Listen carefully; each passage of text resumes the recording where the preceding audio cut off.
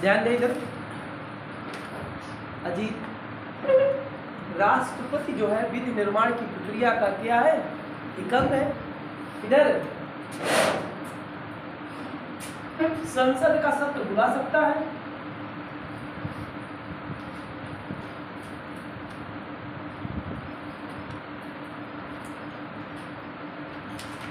संसद का सत्र बुला सकता है।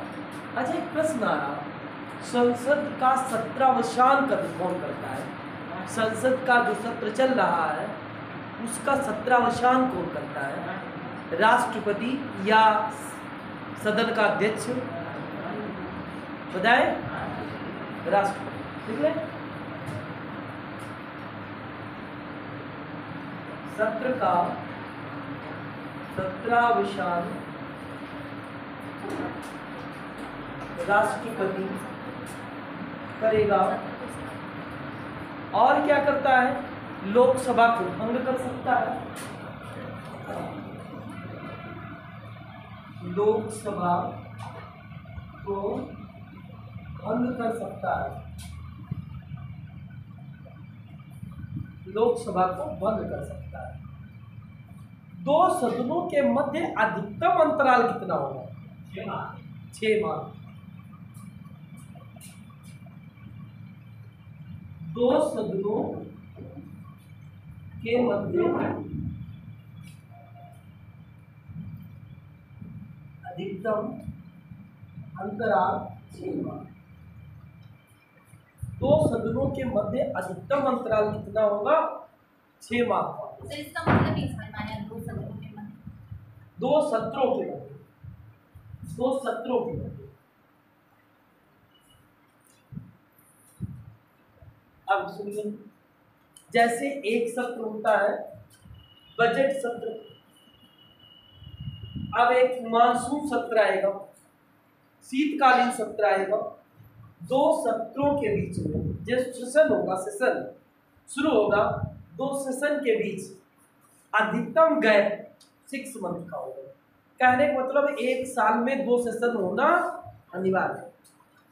एक साल में दो सेशन होना अनिवार्य है। ऐसी बात किस अनुच्छेद में कही गई है? ये किस अनुच्छेद में कहा गया है? अनुच्छेद नंबर 85 लिख लो। ऐसा अनुच्छेद नंबर 85 में कहा गया है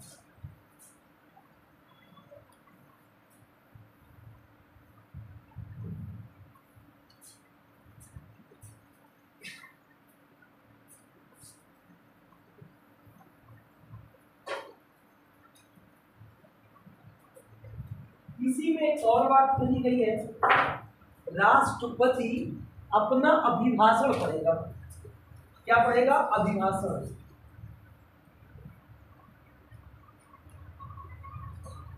ये जो राष्ट्रपति का अभिभाषण होता है, जिसे राष्ट्रपति पढ़ता है, जैसे अभी द्रौपदी मुर्मू गई मेरी सरकार ये करेगी। मेरी सरकार अगले सालों तक पाँच साल तक ये करेगी या गरीबी को समाप्त करेगी जैसा भी हो। सब अपना पढ़ती है। उसे तैयार कौन करता है? राष्ट्रपति का जो अभिभाषण है इसे तैयार कौन करता है? क्या कह रहे शिक्षा मंत्री। वित्त मंत्री। बताए नहीं कुछ कंफ्यूजन नहीं बहुत बड़ा कंफ्यूजन है। इधर तैयार कौन कराता है। ये तैयार वो कराता है सीधे सीधे शब्दों में कहें तो जिस पार्टी की सरकार होती है। आ, या कहें जो मंत्री परिषद है या कैबिनेट है उनके द्वारा ये तैयार करवाया जाए ठीक है? राष्ट्रपति का केवल यही अधिकार है। मतलब राष्ट्रपति को जो दिया जाता है, वो पढ़ते राष्ट्रपति वो पढ़ते हैं जिसमें उनके द्वारा उनका लिखा गया नहीं है। समझ रहे वो वो पढ़ते हैं जो उनके द्वारा लिखा गया नहीं है। ठीक है? राष्ट्रपति अभिभाषण पढ़ेंगे, ठीक है, जिसे उनके द्वारा तैयार किया गया परंतु हर चीज़ का संबोधन जैसे ही होगा। डर जैसे पढ़े थे मेरी सरकार, मैं, ये लक्ष्य मेरे, ये लक्ष्य। सब कुछ अपनी तरफ़ से ही। समझ रहे हैं? ये प्रश्न आता है, राष्ट्रपति जो अभिभाषण करते हैं, क्या उन्होंने स्वयं तैयार करते हैं? नहीं। अपना वो एक शब्द भी इसमें नहीं बोलते जो दिया जाता है, वही पढ़ करके केवल सुनाते हैं। दूसरा क्या है? अनुच्छेद नंबर छियासी, राष्ट्रपति संसद को संदेश भेजता है। अनुच्छेद राष्ट्रपति संसद को संदेश भेज सकते हैं। राष्ट्रपति जो है संसद को संदेश भेज सकते हैं। छियासी में कहा गया, जैसे कोई संदेश सूचना हुई, भेज सकते ठीक है। सत्तासी क्या कहता अनुच्छेद नंबर इक्कीस राष्ट्रपति संसद को अनिवार्य रूप से संबोधित करेंगे। अनिवार्य रूप से।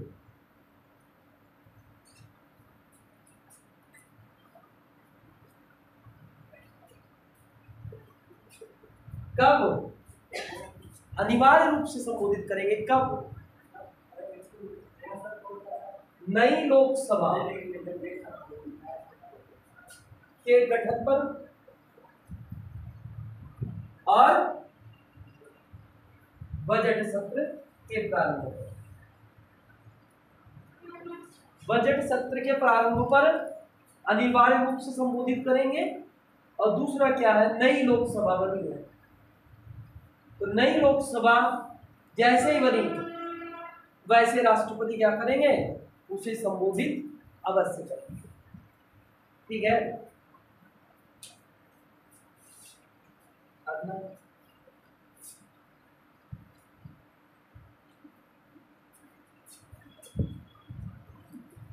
बात कर लेते हैं संयुक्त तो बैठक। अच्छा ये बताइए, संयुक्त तो बैठक है? संयुक्त तो बैठक या संयुक्त अधिवेशन।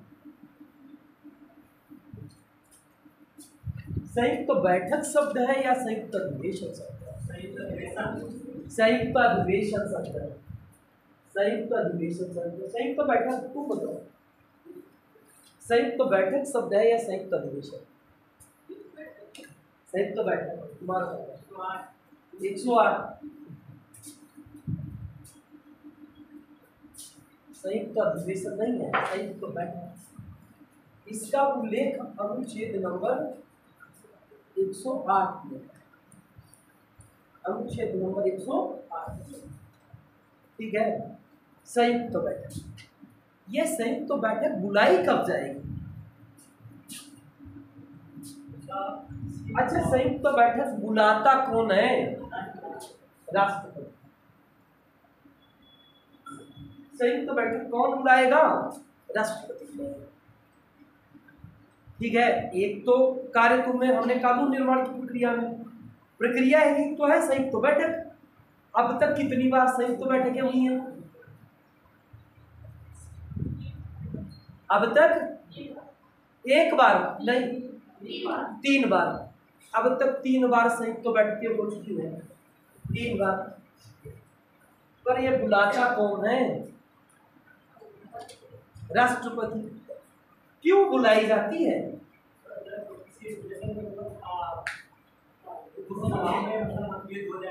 बहुत बार होता है, ऐसा पहली बार थोड़ी ना बहुत बार।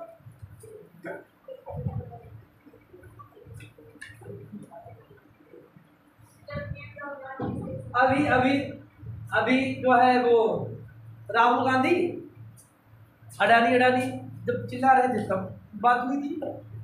सत्र दोनों भंग। ठीक है, राहुल गांधी पर वो जो विदेश जाकर के जो बोल रहा है हो जाए आप ये कहें इधर इधर।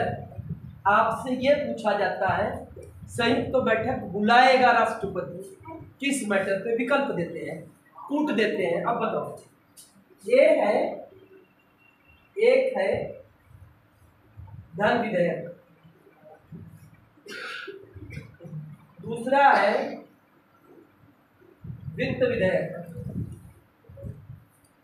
तीसरा है, साधारण विधेयक चौथा है, संविधान संशोधन विधेयक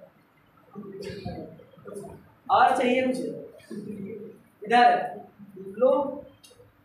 ए विकल्प है एक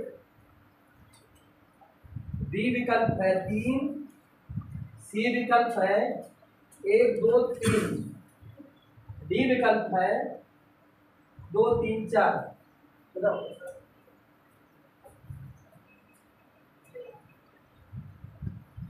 राष्ट्रपति संयुक्त तो बैठक बुलाएगा।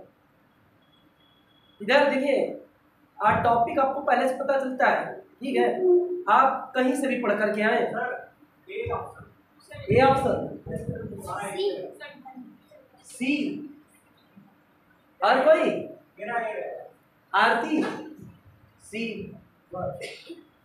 तुमने सोचा एक टॉपर है टॉपर के साथ जाओ। और?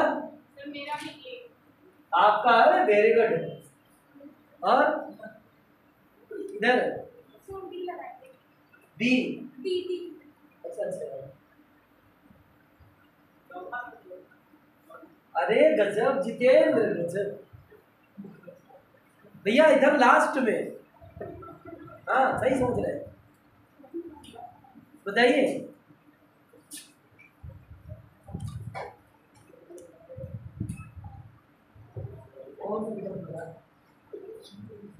नहीं बोलिए जल्दी बोलिए। कौन सा है? एक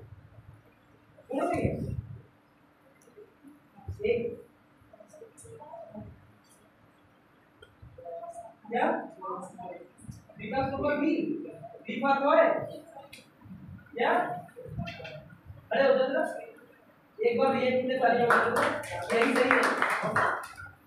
विकल्प नंबर बी।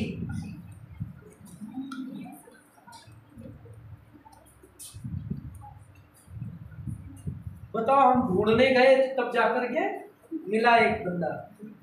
इधर, विकल्प नंबर बी सही है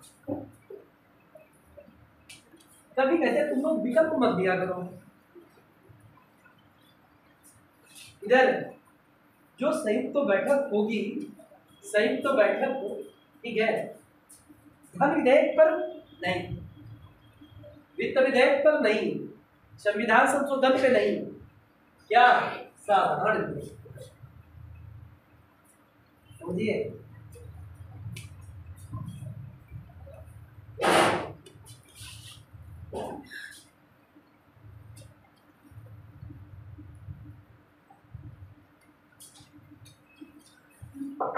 इधर साधा समझिए जरा। अगर एक सदन ने बिल पेश किया जैसे मान लो राज्यसभा। अच्छा पहले बताएँ, साधारण विधेयक सबसे पहले किस सदन में पेश किया जाता साधारण विधेयक सबसे पहले किस सदन में पेश किया जाता किसी भी सदन में। वेरी गुड सही है। किसी भी सदन में। मान लो, राज्यसभा, दूसरा क्या है? लोकसभा। और फिर राष्ट्रपति। राज्यसभा ने पास किया, इधर, राज्यसभा ने पास किया, लोकसभा ने पास नहीं किया। समय कितना गैप हो जाए? कितना गैप हो जाए? कि संयुक्त तो बैठक हो। गई पता है? चौदह दिन कोई वित्त विधेयक धन विधेयक थोड़ी ना छह माह। छह माह। इधर। अब जैसे मतभेद हो गया है, कोई विधेयक से संबंधित अब राष्ट्रपति के पास मामला जाएगा। राष्ट्रपति आर्टिकल नंबर 108 के तहत क्या करेंगे? एक ज्वाइंट सेशन ज्वाइंट बैठक का आयोजन करेंगे, अधिवेशन नहीं बोलेंगे तो संयुक्त तो जब बैठक होगी, संयुक्त तो बैठक की अध्यक्षता कौन करेगा? क्या? लोकसभा अध्यक्ष स्पीकर ठीक है। अगर स्पीकर नहीं है उस समय, लोकसभा का उपाध्यक्ष। अभी तक तीन बैठकें हो चुकी हैं। क्या किसी बैठक में लोकसभा के उपाध्यक्ष ने अध्यक्षता की।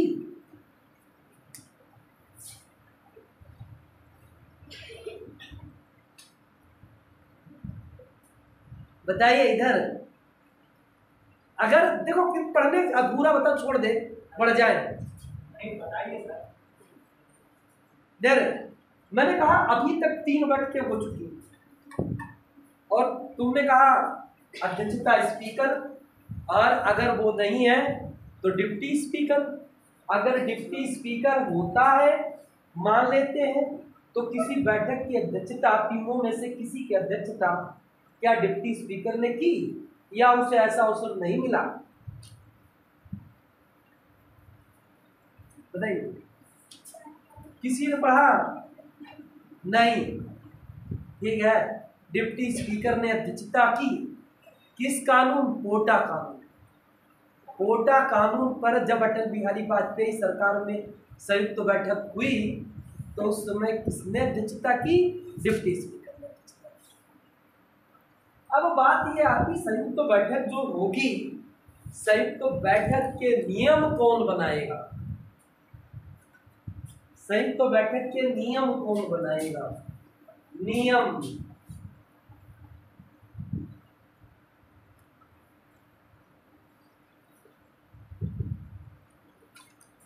नियम कौन बनाएगा? पता है? कौन बनाएगा नियम? बताइए। संसद बनाएगी? नहीं। राष्ट्रपति। राष्ट्रपति किसकी सलाह पर बनाएँगे? दोनों सदनों की। दोनों सदनों की सलाह पर बनाएँगे। राष्ट्रपति इतना समय नहीं है, दोनों सदनों की सलाह ले आकर के नहीं, इधर राष्ट्रपति, एक स्पीकर और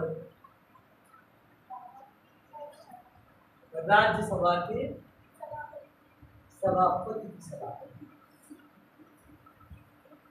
राज्यसभा के सभापति की सलाह पर क्या करेंगे? नियम बनाएँगे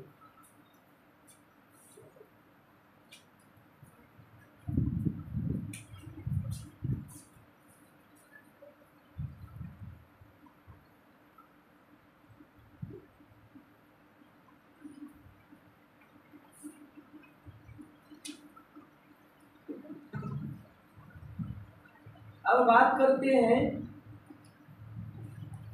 कौन से वे नियम हैं, कौन से वे कानून हैं, कौन से वे बिल हैं, जिन्हें सदन में पेश करने से पूर्व राष्ट्रपति की स्वीकृति आवश्यक है।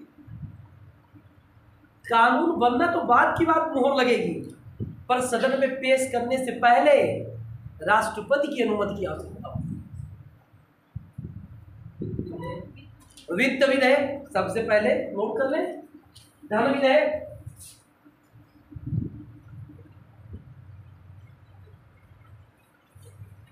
धन विधेयक सदन में पेश करने से पूर्व राष्ट्रपति की अनुमति की आवश्यकता होती है।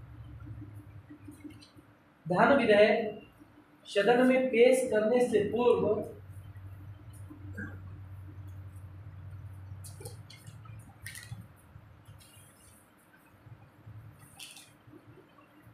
धन विधेयक। सदन में पेश करने से पूर्व राष्ट्रपति की अनुमति की आवश्यकता होती है। दूसरा बताएँ। दूसरा बताइए इधर। संविधान संशोधन, नो। इधर। लिखे नए राज्यों के निर्माण नए राज्यों के निर्माण कामा उनके क्षेत्र उनके क्षेत्र कामा सीमाओं में परिवर्तन से संबंधित विधेयक।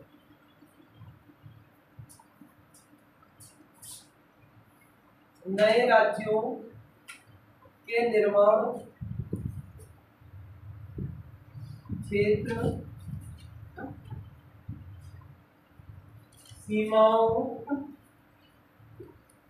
में परिवर्तन।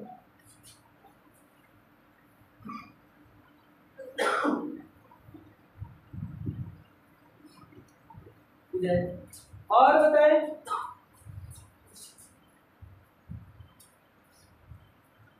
दूसरा बताएँ। अगला देखिए संचित निधि। संचित निधि से व्यय करने वाले विधेयक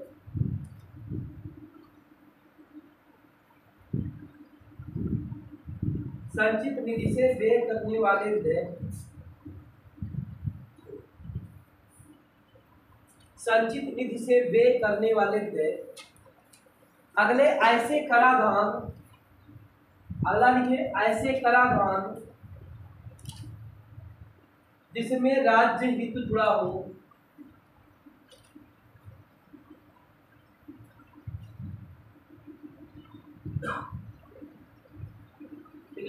ऐसे कराधान जिनमें राज्य हित जुड़ा हो।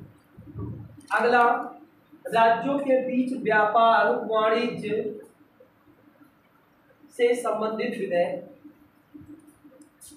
राज्यों के बीच व्यापार, वाणिज्य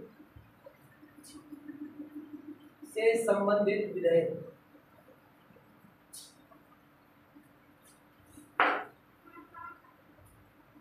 अब आ जाते हैं। राष्ट्रपति को एक अधिकार है। क्या अधिकार है राष्ट्रपति? संसद में सदस्यों को मनोनीत करता है। मनोनीत करने का अधिकार है।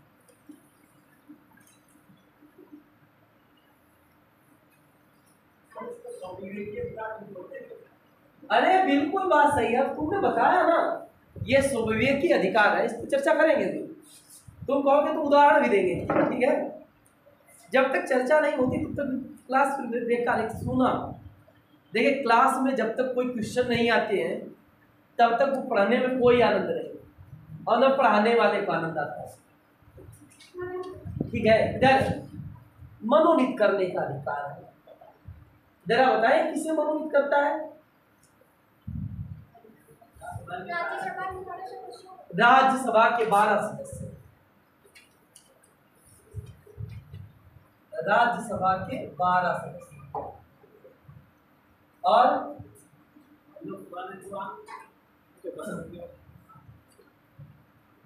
लोकसभा में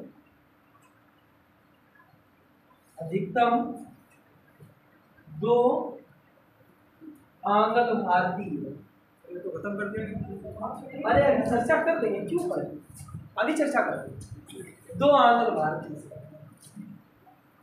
भारतीय जरा जरा अनुच्छेद बोल। दें इनके अनुच्छेद भी बोल। रहे अनुच्छेद बोल। दें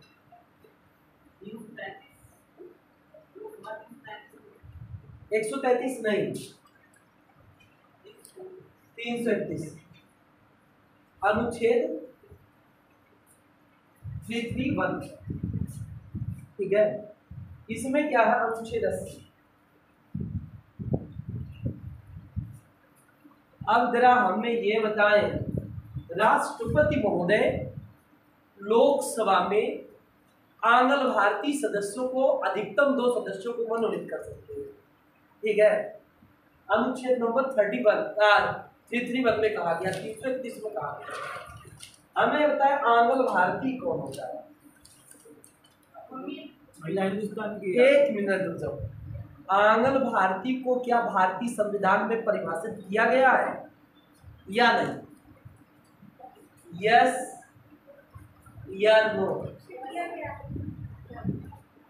किया गया है यस बोलो वोट वोटिंग हो रही इधर।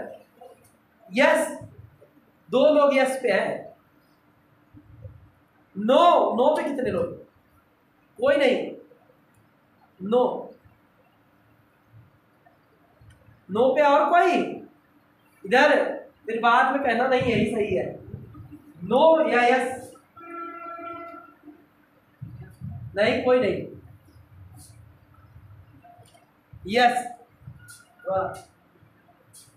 जो यस कहने वाले हैं, वो क्या ये बता सकते हैं किस अनुच्छेद में परिभाषित किया गया है? जिन्होंने जिन्होंने यस कहा है, क्या वे बता सकते हैं किस अनुच्छेद में परिभाषित किया गया है? बताए। जिन लोगों ने यस कहा फिर क्या गेस कर दिया, खाली नो यस फिफ्टी वाला कर दिया। क्या? खाली ऐसे मनाया तो कर दिया सही है तो यस सही है। अनुच्छेद नंबर तीन सौ छाछठ में गया अनुच्छेद नंबर तीन सौ छाछठ में परिभाषित किया आंग्ल भारती को अनुच्छेद नंबर तीन सौ छाछठ में परिभाषित किया गया है। अब जरा समझिए, जरा थोड़ा। इधर। जरा थोड़ा समझिए तीन सौ छाछठ आंगल भारती को परिभाषित किया गया किसे कहते हैं आंगल भारती? महिला भारत की हो, यूरोप के किसी, बिल्कुल सही है। उसकी संतान को जो है आंगल भारती कहेंगे। बिल्कुल सही। तुमने राजा बताया ठीक है। आंग्ल भारती को अब राष्ट्रपति देखेगा। इधर, चुनाव हुआ लोकसभा का। अगर लोकसभा के चुनाव में, लोकसभा का चुनाव हुआ, आज की बात नहीं कर रहे हैं। इधर, आज इस समय सत्रहवीं लोकसभा चल रही है। तुम्हें पता है, आंगल भारतीयों की वैलिडिटी कार्ड जो है, वो बढ़ाया नहीं गया। अब हम लोकसभा की बात कर पता है? अरे, पांचवी, छठी लोकसभा की बात कर रहे हैं। इस समय सत्रहवीं चल रही है। हम पहले की बात कर रहे हैं। पांचवी, छठी लोकसभा की बात कर रहे हैं। इधर, उस समय, मान लो, दो की इधर, चुनाव हुआ, चुनाव, लोकसभा का चुनाव हुआ, और चुनाव के दौरान दस व्यक्ति आंग्ल भारतीय चुनाव जीत करके आए हैं। इलेक्शन हुआ, चुनाव लड़े, जीत करके आए राष्ट्रपति अब चुनाव जीत करके आए। चुनाव आयोग क्या करता है? रिपोर्ट किसे देगा?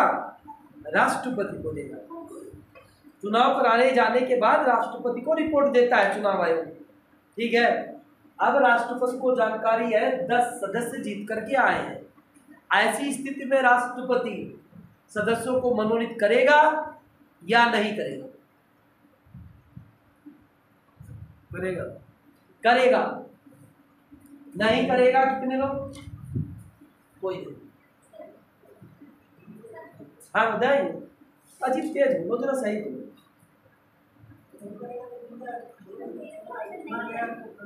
नहीं नहीं, जो चुनकर के आए, वो तो है ही मेंबर अन्य दूसरे दो मनोनीत करेगा कि नहीं करेगा?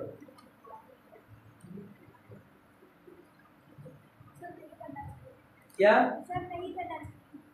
इनका कहना है अब नहीं करना चाहिए उसे मनोनीत नहीं करना चाहिए। क्यों? हाँ। इधर समझिए इधर इधर जब पहले से उस समुदाय के दस लोग आए ठीक है मनोनीत तो राष्ट्रपति तब करता है जब वो देखता है कि चुनाव के दौरान उसको उचित प्रतिनिधित्व तो नहीं मिला है उसके समुदाय से कोई जीत करके नहीं आया है। ऐसी स्थिति में वो ज़्यादा से ज़्यादा दो लोगों को मनोनीत कर सकता है। ज़्यादा से ज़्यादा कितने लोगों को मनोनीत कर सकता है? दो लोगों को मनोनीत कर सकता है। अगर मान लो एक जीत करके आ गया है तो ऐसी स्थिति में वो केवल एक को ही मनोनीत करेगा। वो तभी मनोनीत करता है जब उस समुदाय का प्रतिनिधित्व तो नहीं अगर समुदाय का प्रतिनिधित्व तो है तो वो मनोनीत नहीं। ठीक है? यहाँ क्या है?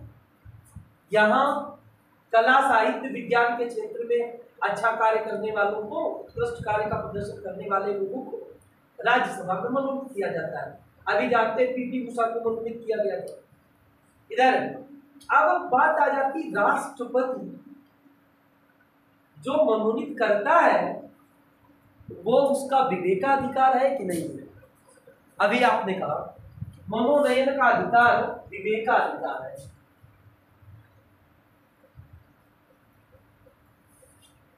मनोनयन का अधिकार विवेकाधिकार आपके द्वारा कहा गया। इधर, क्या मनोनयन का अधिकार विवेकाधिकार है? है? है? नहीं। नहीं। मनोनयन का अधिकार कोई विवेकाधिकार नहीं है उदाहरण लो, जैसे राष्ट्रपति वैसे राज्य में राज्यपाल, वैसे राज्य में राज्यपाल। इधर, जैसे कर्नाटक अभी लेटेस्ट एक मामला कर्नाटक में आया। तुमने देखा था, अभी उद्धव ठाकरे की सरकार थी। महाराष्ट्र में वर्तमान समय में एक नाथ सिंधे है। वर्तमान समय में एक नाथ सिंधे हैं। अच्छा उससे पहले जैसे चुनाव के रिज़ल्ट आए, राष्ट्रपति ने क्या, राज्यपाल ने क्या किया? वो देवेंद्र फडणवीस को क्या बना दिया? मुख्यमंत्री। और जब उनको वो फेस करना पड़ा, भाई, जैसे जाएँगे सत्र सत्र शुरू होगा, वैसे क्या करना पड़ेगा? राज्यपाल का अभिभाषण होगा वोटिंग होगी। जैसे बहुमत सिद्ध करना पड़ेगा, सरकार गिर जाएगी। तो होता क्या है? इधर समझिए जरा विवेकाधिकार। कर्नाटक में कर्नाटक में सरकार, ठीक है? सरकार बनी नहीं। मान लो बहुमत से एक सीट कम। बहुमत से, बहुमत के डाटा से एक सीट कम। राज्यपाल राज्यपाल राज्यपाल जो था ना पार्टी का नाम नहीं लेंगे किसी पार्टी का। राज्यपाल जो था, वो जो आने वाली पार्टी थी, कहे, होने वाली सत्ताधारी पार्टी के फेवर में मान लो उसने क्या किया? कहा, ये मेरा विवेकाधिकार है, मैं एक मेंबर को मनोनीत करता हूँ। राज्यपाल ने मनो, मनोनीत कर दिया। अब क्या हो गया? मेजोरिटी हो गई। ठीक है, मामला विपक्ष वाले कहाँ ले गए? सुप्रीम कोर्ट में।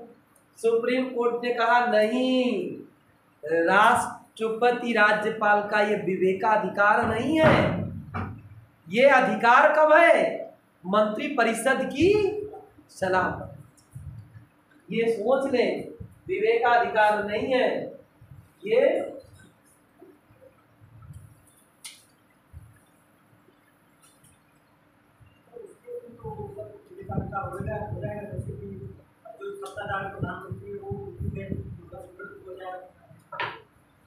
अब प्रधानमंत्री की मृत्यु नहीं अब हमारी बात समझिए। जैसे आप प्रधानमंत्री की मृत्यु के बारे में बात करें इंदिरा गांधी की मृत्यु इंदिरा गांधी को उदाहरण दे रहे थे। तुम चर्चा करो हम तुम्हें बताएँगे।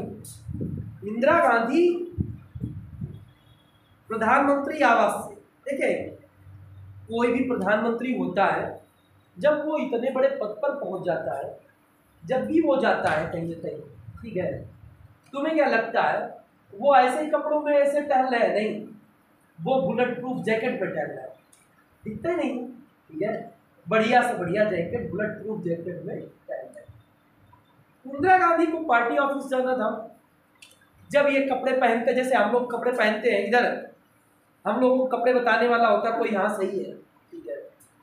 उसी प्रकार इंदिरा गांधी जब भी कहीं जाए तो उन्हें पूरी जानकारी दी जाती है। कपड़े पूरा पूरा पूरा मतलब उनके साथ चलने वाला एक स्टाफ होता है, जो हर चीज़ बताता है। तो इंदिरा गांधी जैसे जा रही थी, उनसे कहा गया, आप जैकेट पहन लें। तो इंदिरा गांधी ने नहीं कहा, पास में ऑफ़िस है, वो कार्यालय है, पार्टी कार्यालय, वहाँ तक जाना है।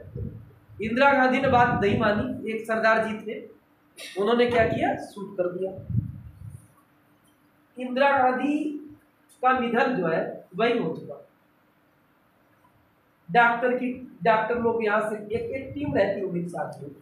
उन्हें हॉस्पिटल पहुँचाया गया। अनाउंसमेंट नहीं किया गया।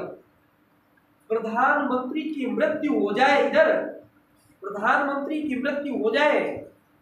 या प्रधानमंत्री त्याग पत्र दे दे। मंत्री परिषद का विघटन हो जाता। मंत्री परिषद की समाप्ति हो जाए। जैसे इंदिरा गांधी का निधन हो चुका अनाउंसमेंट नहीं किया गया। वो मेडिकल बुलेटिन आने वाला है। क्या बताया गया? अभी हालत गंभीर है। ठीक है? आजकल सब लोग व्हाट्सएप पर जब पहले सवाल उड़ा देते हैं, शायद निधन नहीं हुआ, तब भी उड़ा देते निधन हो चुका। तो पता है क्या? हालत गंभीर है, हालत गंभीर है। ऐसा कहा गया। राजीव गांधी बाहर थे। राजीव गांधी को बुलाया गया। उन्हें जानकारी दी गई माता जी का निधन हो गया। पार्टी की एक बैठक, हल्की सी बैठक हुई। बैठक में ये कहा गया, अब नया प्रधानमंत्री कौन बनेगा? राजीव गांधी। निर्णय ले लिया गया। राष्ट्रपति ने क्या किया? राष्ट्रपति ने नियुक्त कर दिया।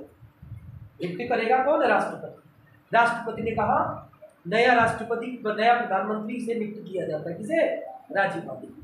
जैसे राजीव गांधी ने शपथ वपथ ली, सब कुछ प्रोसेस हो गया। तो वैसे ही अनाउंसमेंट आ गया। कि इंदिरा गांधी हमारे बीच में समझिए इधर। ऐसे जयललिता का मैटर है अभी इधर सुनिए इधर। बड़ा चर्चा होती है बिहार के मुख्यमंत्री नीतीश कुमार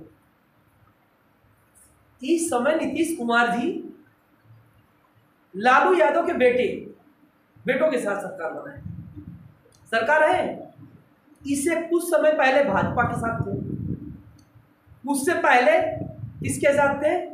नीतीश कुमार के वो नीतीश कुमार जी किसके साथ थे? लालू यादव के बेटे के साथ थे। कि नहीं थे? अब देख लो, फिर से जाने वाले हैं बीजेपी में। फिर से जाने वाले हैं बीजेपी में। और उससे पहले भी कहा थे? बीजेपी में अब नीतीश कुमार जी, पता है, समझिए इधर। इससे इससे पहले जो वर्तमान समय में है, इस लालू के बेटों के साथ में इससे पहले भाजपा में। और इससे पहले फिर लालू के बेटों के साथ में थे। उस समय घटना सुनो। नीतीश कुमार जी बार बार तेजस्वी यादव से कहे, जाओ त्याग पत्र दो। तुम पर जो है भ्रष्टाचार के बहुत आरोप है। तेजस्वी यादव कहे, मैं त्याग पत्र नहीं दूँगा। अब त्याग पत्र देना क्या बहाना था? एक भाजपा के जाने का। ठीक है। तो नीतीश कुमार ने कहा, क्या ये त्याग पत्र दे नहीं रहे? और हम एक भ्रष्ट आदमी के साथ में बिल्कुल पसंद नहीं करते। नीतीश कुमार ने अपना त्याग पत्र दे दिया। जैसे ही नीतीश कुमार ने त्याग पत्र दिया, वैसे सरकार के आ गई गई। सरकार जो थी ना, मुख्यमंत्री के त्याग पत्र देने से मंत्री परिषद का विघटन हो जाता है। ठीक है? जैसे त्याग पत्र दिया, सरकार वो गिर गई। नहीं, सरकार शाम को भाजपा के साथ, शाम को जो है, शपथ ग्रहण समारोह। जैसे कि मेजोरिटी नहीं बन रही है, ठीक है? है हाँ हाँ हाँ बिल्कुल सही तुम्हारा कहने का मतलब है जैसे नया चुनाव हुआ, बहुमत नहीं मिल रहा है तो फिर उसका वो विवेकाधिकार है। बिल्कुल सही तब विवेकाधिकार ठीक है। बात कर लेते हैं ऑर्डिनेंस अध्यादेश। ठीक है अध्यादेश जारी करने की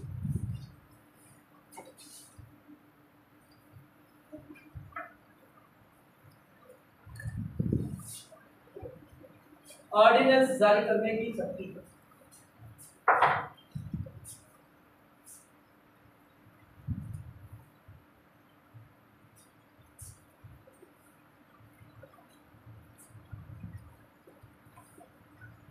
अनुच्छेद जरा बोलते दें क्या? वन टू थ्री हाँ कोई तो इधर बहुत प्रश्न इससे बनते हैं ऑर्डिनेंस का।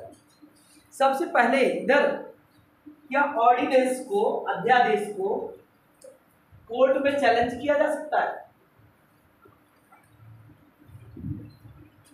पहले नंबर पर चर्चा करेंगे, कितने प्रश्न बनते हैं, क्या अध्यादेश कोर्ट में चैलेंज किया जा सकता है?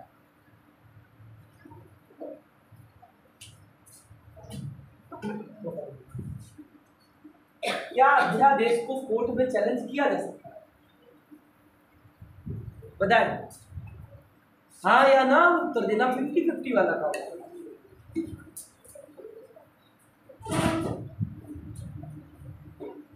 बताइए अध्यादेश को कोर्ट में चैलेंज किया जा सकता है या नहीं?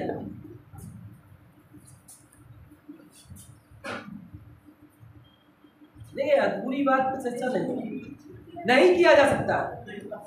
नहीं। अध्यादेश को कोर्ट में चैलेंज किया जा सकता है यस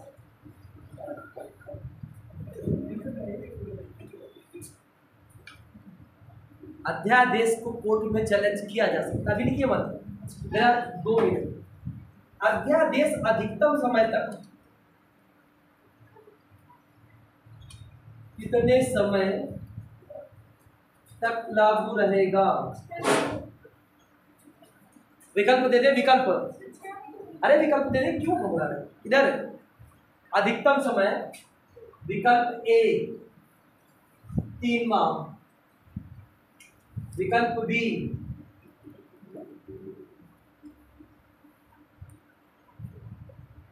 विकल्प सी और विकल्प डी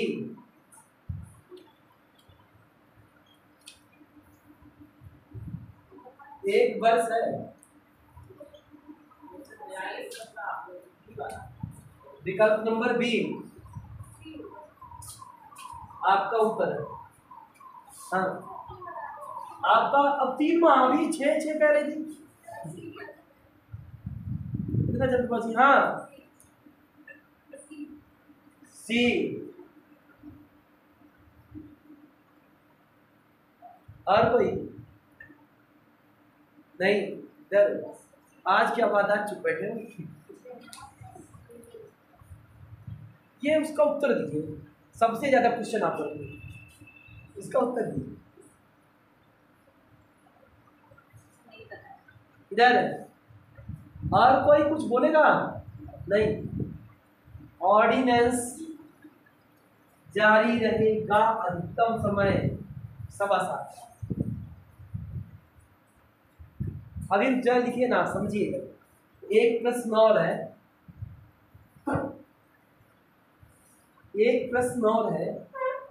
सत्र शुरू होने के बाद ऑर्डिनेंस कितने समय तक जारी है?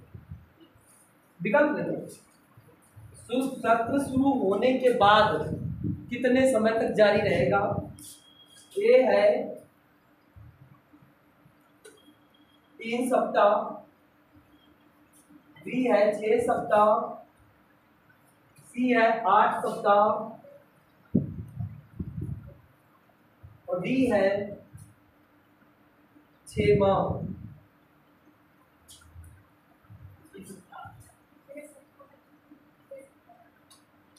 छह सप्ताह। बिल्कुल सही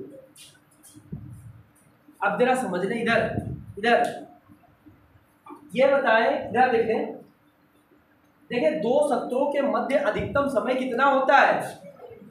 छह माह। और छह माह के बाद जब सेशन शुरू होगा तो ऑर्डिनेंस पता है?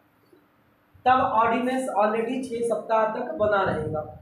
अब इसमें छह सप्ताह और जोड़ दो। छह माह में छह सप्ताह जोड़ दो। तो कितना हो जाएगा? सवा सात माह।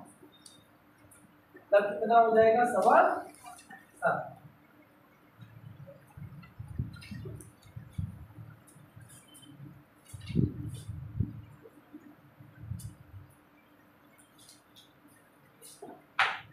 अच्छा जरा एक चीज़ और देखो। बताएँ, राष्ट्रपति ऑर्डिनेंस जारी करेगा? कब? एक लोकसभा है, राज्यसभा नहीं है। एक विकल्प। बी है, लोकसभा नहीं है, राज्यसभा है। सी विकल्प, लोकसभा है, राज्यसभा है। और डी विकल्प लोकसभा नहीं है, राज्यसभा नहीं।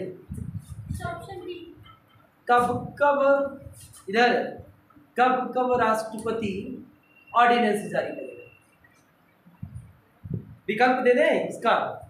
इधर, एक है ए बी सी दूसरा है ए बी डी और तीसरा है ए बी सी डी। चौथा है केवल सी डी। मतलब कहने का मतलब राष्ट्रपति ऑर्डिनेंस कब जारी करेगा? एक ए है, लोकसभा का सत्र है, राज्यसभा का नहीं है। बी है लोकसभा का नहीं है, राज्यसभा का है, सी है लोकसभा का है, राज्यसभा का है, डी है लोकसभा नहीं, राज्यसभा। और ये आपके कूट भी है।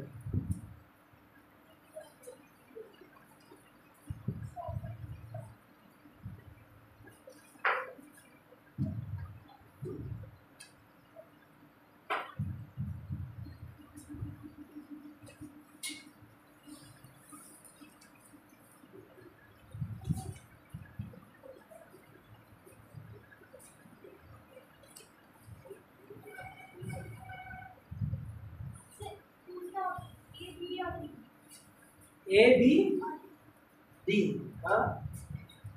और बताए।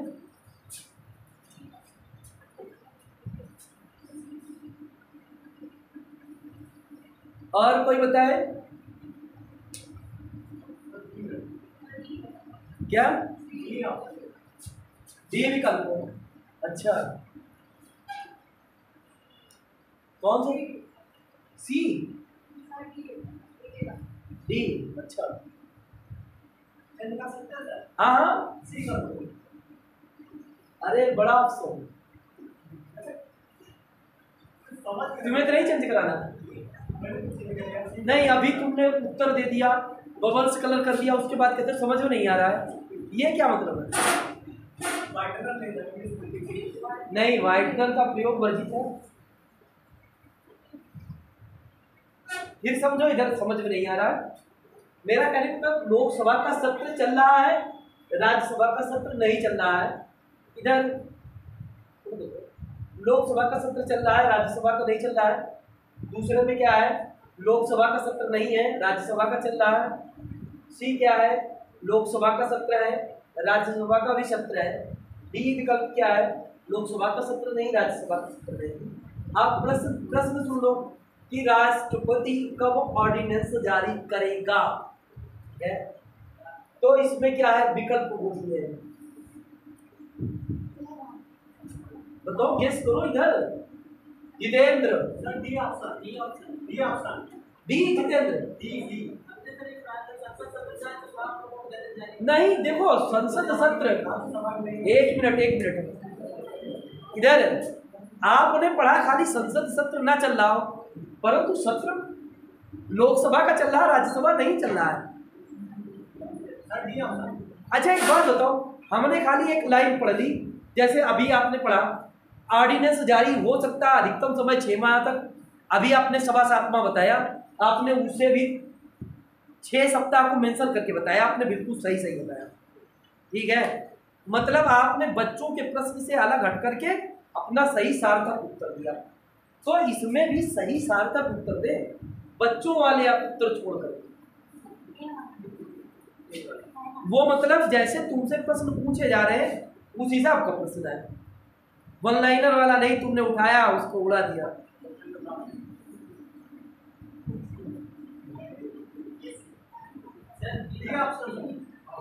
ऑप्शन नंबर बी ए अच्छा गजब अच्छा तुम्हारा ए रहेगा। चलो, हम उसको उसको डी को डिलीट कर देते हैं अब तो खुश।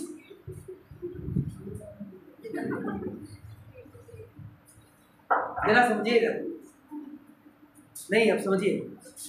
देखिए, कानून तो तभी बनेगा जब दोनों दोनों सत्र होंगे इधर।